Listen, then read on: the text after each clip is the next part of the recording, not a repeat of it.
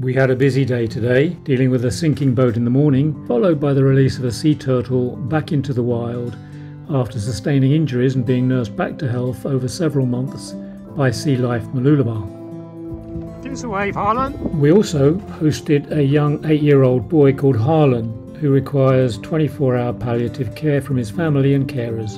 Harlan loves to see marine life, and we were thrilled to have him visit us and let him see our Sea Life Sunshine Coast care for these animals.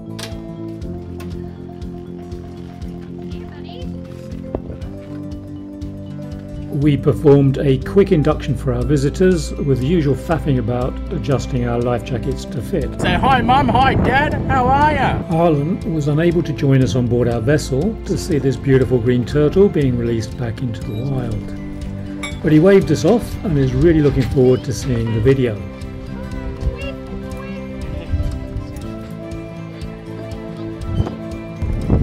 Stern line off!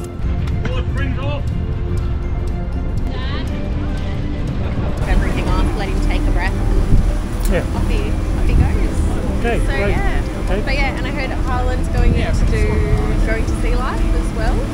Glorious day. The trip to Old Woman Island was achieved in short order, Yeah, they've got it. And the sea turtle was gently prepared for release into the sea. Can't wait to get in there.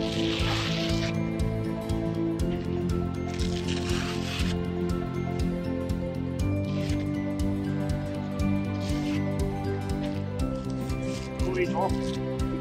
Hang on. Whoa, whoa, whoa, whoa.